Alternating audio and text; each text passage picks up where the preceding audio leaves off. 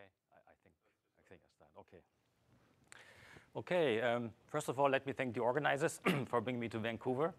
Thanks. It's a nice place. I really feel home here, and uh, it's also a good opportunity that we meet here after four years Beijing conference in person to discuss several things. So I'm really happy to be here.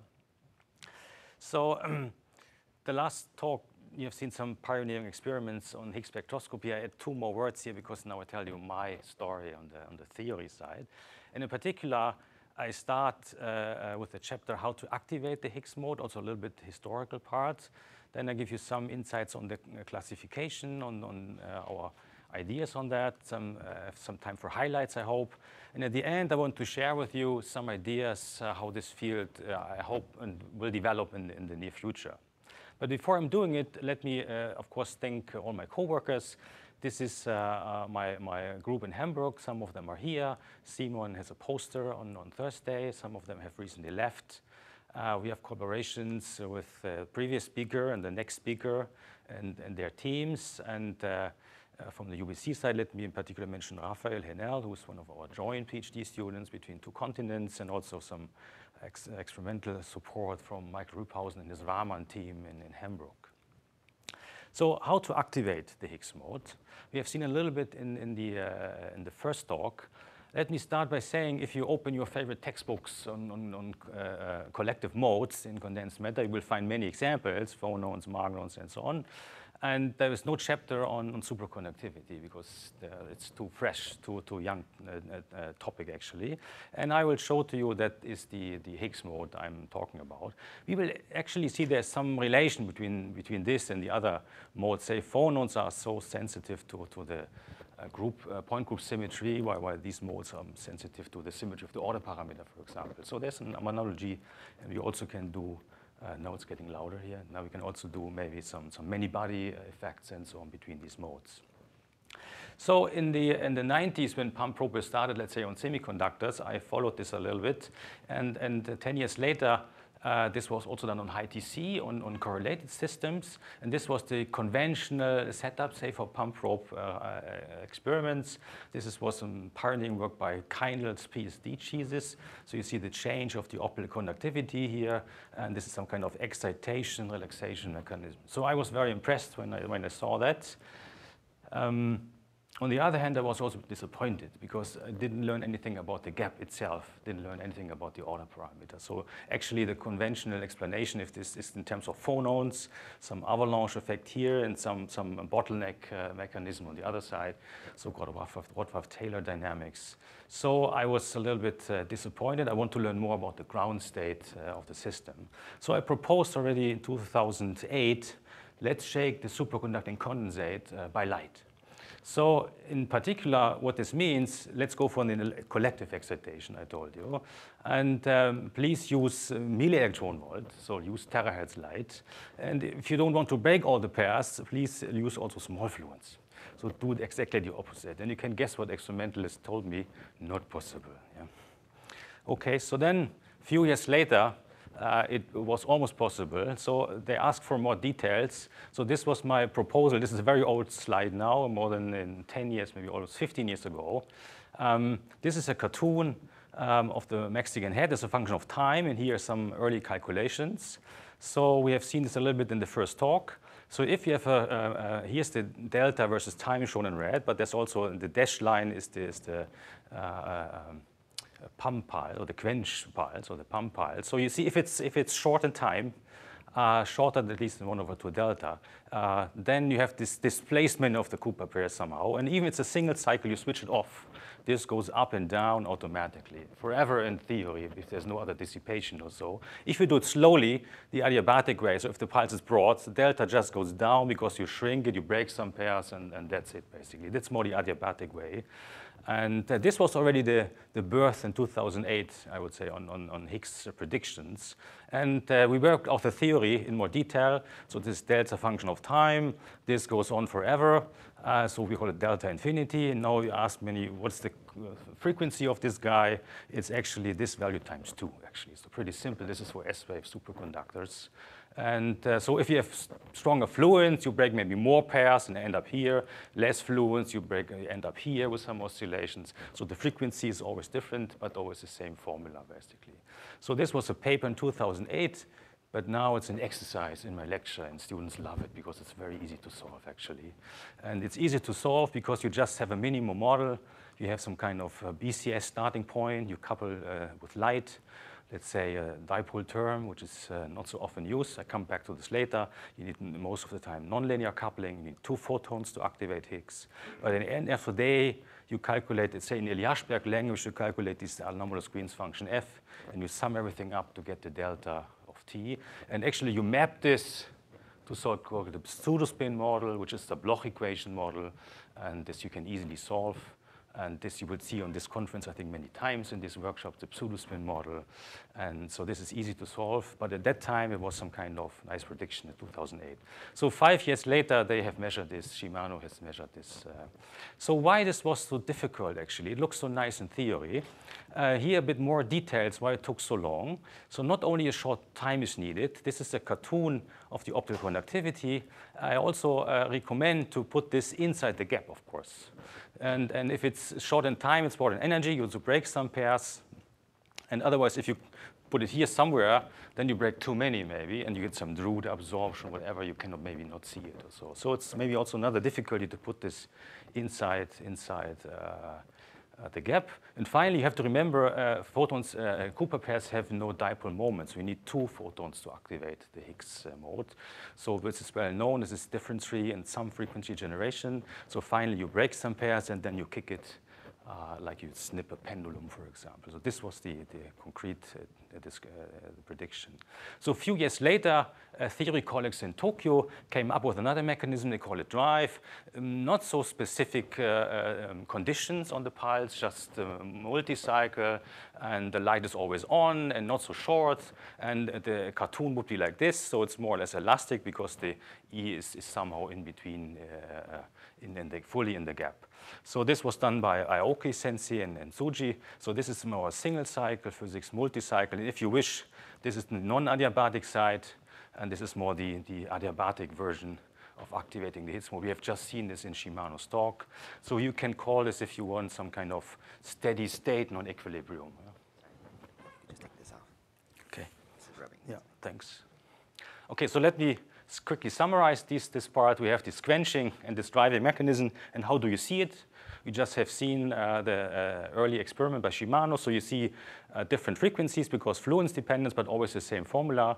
And how to see the driving. It's the third harmonic uh, signal he just described. And usually the third harmonic is small, but below TC, it's boosted under some condition. You need two photons. And now we have uh, eigenfrequency of the Mexican hat, 2 delta. And under this condition, this is boosted below TC. And this has been seen five years after the prediction. And there's a nice paper also recently on this. If you have a special pulse, not some symmetric pulse, some asymmetric pulse, you can do both at the same time if you want. So some highly asymmetric pulse can quench and drive. Very nice uh, paper uh, to do this. So uh, um, he mentioned also a third way, there's a supercurrent. I come back to this in, in a moment. I have also some thoughts over the years about a third uh, um, possible activation that is called, also other people, a recent one, uh, uh, this is called incoherent activation. This means by, by incoherent phonons, so emission of incoherent phonons. And uh, so some of the authors are here, so I appreciate uh, the, this early work here.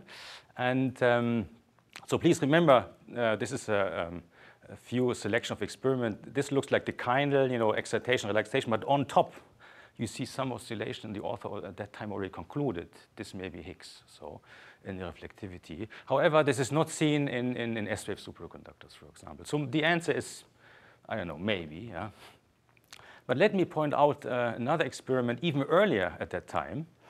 Um, this was, I think, pioneering work by the Rübhausen group because it was the first ever PRAM program scattering with two-color optical light on high TC superconductors. This is the B1G pair breaking peak. And there's so two time scales, you know, this is the Raman shift on the y-axis and the time here. Then you see two time uh, scales. One is, of course, the breaking of the pair, some, some quasi-particle. And the other one at that time was more attributed to phonons. It was very popular at that time. But maybe, maybe not. Maybe they already saw the Higgs uh, uh, time scale at this time, because this would be consistent with this experiment, because we also pump probe uh, Raman data. So I come back to this at the end. So maybe we can learn something from the older data here as well. Now classification of the Higgs mode. So far this was just S wave. Let me go one step further uh, to D wave and, and uh, yeah, so we worked out the details uh, on this part. It's all, all published. So uh, in, in, in S-Wave, there's only one mode. It's, it's, it's uh, everything is, um, uh, say, constant and k-space. And so here we have the, the D-wave order parameter. And now you can easily imagine uh, uh, the, in, the direction of the light matters, right? So to activate the Higgs mode, how you, how you kick the condensate is now important, uh, antinodal or nodal direction, at least for this uh, simple linear polarized light. So if you work out the details, let's say for the D-wave uh, high TC condensate, you get even four modes. And uh, so just to make sure, someone asked me, is this, these are not orbitals, right? These are really the order parameter wave function for a D-wave superconductor. So we classify them uh, in, according to this point group symmetry. But this reminds you, of course, to phonon classification scheme, right? This is like a character table of phonons, if you wish, so just group theory. So you see here, for example, the symmetric mode, all errors are out. Next time step, they're all in. And here is the antisymmetric mode. This red one goes in, the blue one goes out. The next time step is vice versa, and so on. So let me show you how this looks in time, basically. This is some mini animation here, how these uh, uh, order uh, parameter oscillations look like. This is some kind of generalization of this little oscillation I showed you earlier.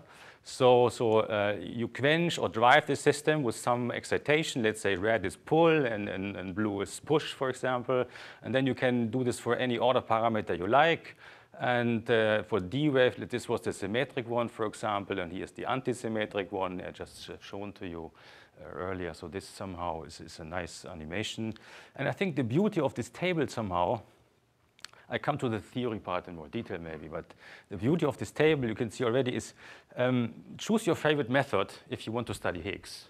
Say um, time-dependent reflectivity, time-dependent uh, uh, Kerr effect, time-dependent absorption, and in all these equations you're using, there will be a delta of time you know, included. So take these uh, as an input and see what's coming out, what you can expect in your experiment. Second beauty of this table, if, if there's a new superconductor discovered tomorrow, and also Shimano mentioned this a little bit, some, some things are unknown in, in, in iron pnictides, maybe S plus ID or S plus minus or so, uh, just do the calculation and see how they look like, and maybe you can discriminate right away.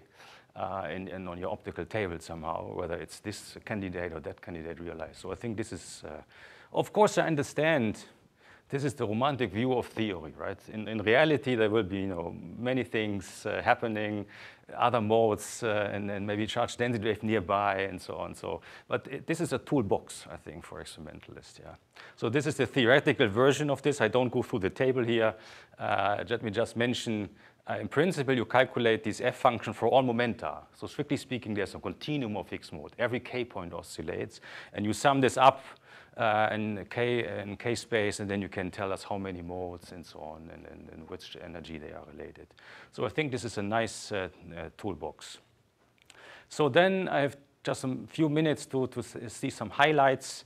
Uh, uh, Shimano mentioned uh, there's also some supercurrent activation. We have done some papers on this. So this is some kind of DC component in, in the Raman process and, and looks like infrared finally because you have one extra omega equal to zero uh, component. So we worked out the details. It's, it's nice, it's possible.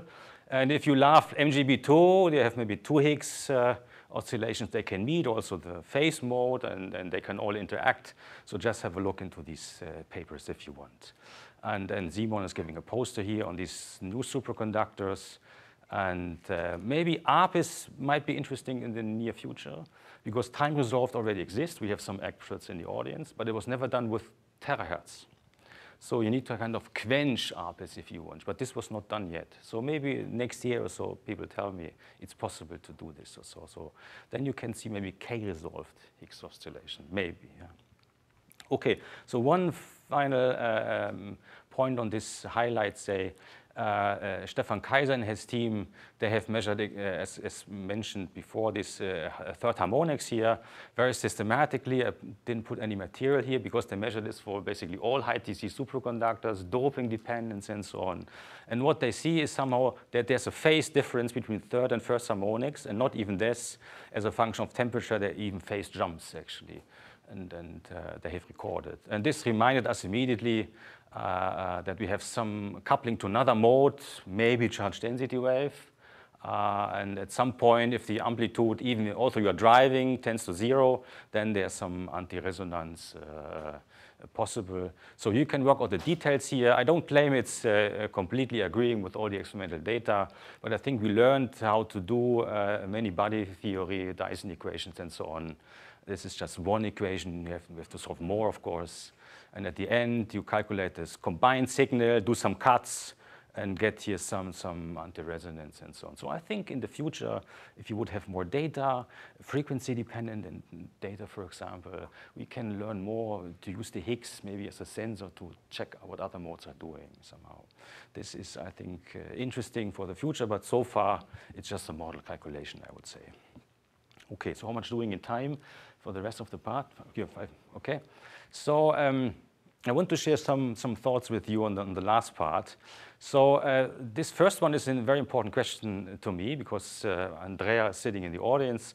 We have heard about many years on induced superconductivity. And my question is, is this really true? And so far we have just the textbook equilibrium criteria used. Sigma 1 has a gap and sigma 2 looks to be divergent. But I think we need a new criterion here.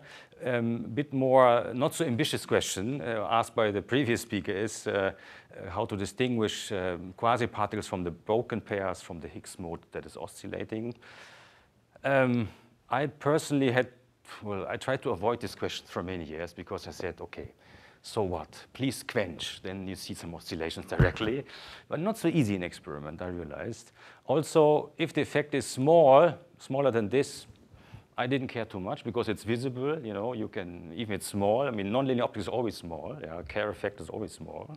But I understand this is an important point for many people to distinguish. And, and so, so I think one direction one should go is uh, two-dimensional coherent spectroscopy, which was done decades ago for, for semiconductors. Four-wave mixing is, is one word, but now let's do it for superconductors. Yeah. So the easy, what is 2D spectroscopy? The easiest way, what we, how we learned it, uh, we combine these two things, quench and drive, with some you know, time delay and, and uh, do some two-dimensional map.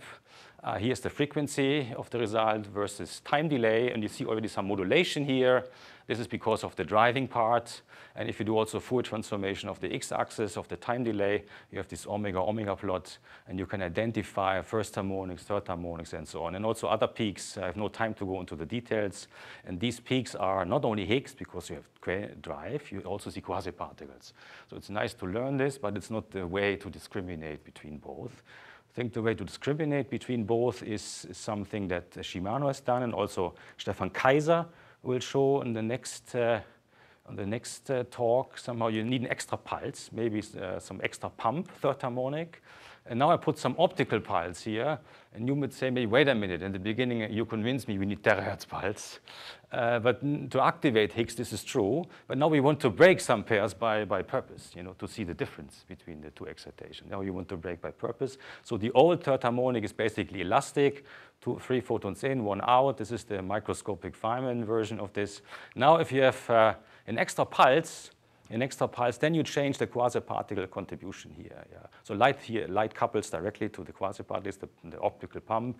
And you see you cannot use the uh, standard Green's function technique. You have to really go to non-equilibrium Keldysh technique. And this is what, what we did. So you can calculate these, these things. Uh, this is the, just a quasi-particle in the interest of time, just a quasi-particle part. And this, uh, this one is going down, this one is going down as well. So finally, what you calculate is the density of states, for example, and the signal itself, and you see it becomes asymmetric. So this two delta quasi-particle contribution is drastically reduced already. Yeah. So this is just a quick and dirty uh, Keldysh calculation. It tells you, uh, um, yes, I think it's possible to discriminate. Just, just uh, calculate all these details. You can calculate this bubble alone and this bubble alone. You can calculate this and this separately, and then you, to discriminate, I think. Theoretically, it's, it's, it's a straight way in non-equilibrium to distinguish between. Then maybe this discussion becomes not so hot any longer. Okay, so time is almost up. So let me just mention one final word um, on this experiment I showed in the beginning, because the conclusion, also you are uh, expert on this, was already uh, um, that stimulated Raman is involved somehow in this process. So you have this phonon in the back, and you see already all the parameter oscillations here. And was not so appreciated by, by the community, I think, this experiment. So I don't go through all the possibilities here. I don't go through all the possibilities here. Let me just uh, mention, uh, I wanted to follow up this idea and go back to the Raman experiment by, by Rübhausen, who saw these two time scales of the B1G peak. So this, I think, Pump-Probe Raman for me, I think is the, the third is the third ingredient uh, that we need. Not only quench and drive. I think Pump-Probe Raman is one of the key methods in the future. This was a very early experiment, two timescales here. Shimano had done uh, a similar uh, experiment. Now with uh, this is too optical. Here's one terahertz uh, laser involved. He sees this oscillatory behavior. And, but let me remind you, this oscillatory behavior means in the energy domain just a peak. This is equilibrium Raman from the 90s. Yeah. So let me stick out my, stick out my neck here and say, if, if this is all true and also your experiment is correctly interpreted, then you must see it also in conventional Raman spectroscopy, in steady state, optical, incoherent. And maybe it was already there, we just didn't notice. So I, I showed this idea last uh, month to Kenneth Burch, and he said, well, no surprise for me. We, we have seen charge density wave Higgs uh, also in, in our Ra classical Raman experiment. So it's, he said, no surprise. Uh, it's possible. So let me sharpen my argument again. This here is the fit by Tom Devereux at that time, the best he could do. This is just quasi-particle fit. But we already know from 15 years later experiment, this guy here is, has two components not only quasi-particle, it has two components in time, basically. And I think I showed you in this talk, you know, they are B1G oscillations, so there is a relation. And A1G is even larger in our calculation in, in, the, in, the, in, the, in this group theory, A1G is even larger. So I think putting all this together, without giving you some number, this is of course a difficult task. Um, I think, let me stick out my neck and say, there was Higgs all the time, maybe. And we couldn't realize because we need some time dependence to look behind this picture somehow. Maybe it was there for 25 years and we didn't notice actually. So the uh, chairman is standing up, so let me one minute summarize. Uh, I show you how, how you quench and how you drive. This was my early prediction. Uh, spectroscopy means at least you can classify and maybe some predictive power of this table. And I didn't show you all the details of the highlights. You can ask me later. But I think in the future direction to answer these questions of Andrea, induced superconductivity, and, and the question that was asked here, discrimination between quasi-particles and so on, maybe you should just do non-equilibrium calculation and then be more serious somehow to, to uh, answer these questions. Thanks a lot for your attention. Okay, it's open for questions. So I have two related questions. One is the D wave. Mm-hmm. What is this, what is the frequency of the Higgs in the D wave? Um, well, we have an A1G oscillation. It's a bit that's close to 2 delta. Oh, but And- you have nodes, right? So what is Yeah. 2 delta? Yeah, the maximum 2 delta. So, so you have, so this is like the Bala-Schwarmer paper basically. So you have to in, so you have to integrate over all k. So because you have this gap equation, so you have some kind of interference. Sometimes it's you know positive, sometimes negative, and then you get these four modes. So you have four modes finally that are possible to observe for a D wave super. But they're not sharp, right?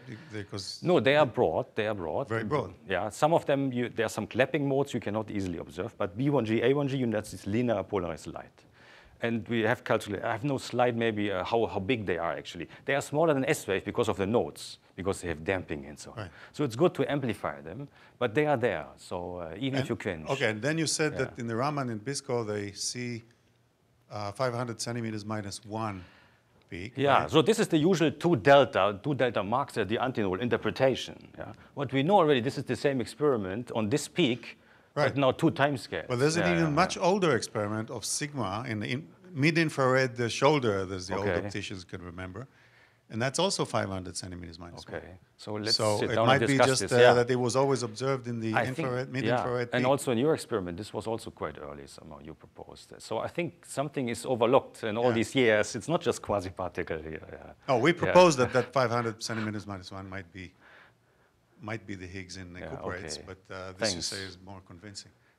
Let's sit down and discuss it. Yeah, thanks. Thanks have for the a comment. question over yeah. here, and uh, we are, we have, uh, our phase has lagged considerably. Uh, So we're going to go into the, uh, into the break, uh, clearly. And uh, I think in the interest of discussion, I will uh, have one more question before we get to Stefan, if that, and then, and then we'll just uh, cut into the break. We talk after the break. Yeah, great. Thanks. Yeah. Two questions. Uh, First is probably related to us. Even in S-wave superconductors, there's a gap anisotropy. It could be like 10% even more in aluminum. In reality, yeah. In reality, right. So then what is, uh, what is the Higgs uh, frequency there and um, dissipation? So if it exceeds the minimum delta, Yeah. is it depth? What's no? Ah, I you didn't calculate, but we can do this in you know 15 minutes or so, high harmonics, no problem. So just ask me tomorrow. Okay. This is pretty easy. I, thanks for the question. We never did this. Yeah, this is we have just a romantic calculation here. Yeah, high harmonics. yeah, no problem. Okay. And the second question, uh, there were experiments in microwave absorption in the 70s. Garfunkel, Budzinski, they also saw a structure near 2 delta. I see. Uh, is it related to Higgs or could it be? Well, I have to check the details to be honest, but but uh, um, I think all the interpretations I've shown to you were somehow you know fashionable at that time, you know, incoherent phonons or whatsoever. So, but if you put them together just by logic, I think there's something hidden, and and uh, so the the message is here: please reproduce this experiment now for A1G, or reproduce this one for for smaller terads for Quench or so. Then you would already gain some insights or so on all these earlier peaks and so on. So I think it's up more an experimental question now. I put all the things together, but it's more question to you to, to verify this. Yeah. Oh, last question, Andre. Uh, a simple question about theory, not about experiment, although I understand it's forbidden to ask this question. Thanks. Uh, when you do calculations of Raman, and this about uh, B1G for D-wave case, you definitely have uh, two delta peak. Yes, coming yeah, from a standard do, Raman. yeah. Plus, on top of this, there is a Yeah. Higgs response. Yeah. What's the percentage of Higgs response? Uh, here it's pretty small, pretty small, because this mode is pretty small compared to A1G oscillation. The, the symmetric one is always the largest. So in this respect, original interpretation is that this is a standard Raman 2 delta peak Yeah. is probably correct. Right? Let me, yeah, it's basically correct. But if, even if it's just 5%, come on, I mean, it's 5% of this peak somehow. So I think one has to redo this fit completely, because at that time one wanted to have some, some massage of the parameters, TT prime, as you know, to fit this as best as you can and so on. So you see some of these guys going to, to zero any longer here and so on. I think they, took, they took the best somehow. I think just repeat this again with, you know, new, new insights, and then we will see there's a little bit left, I think. Yeah. Okay, we'll need to move on, so let's thank uh, Thanks. Thanks. speaker, Dick.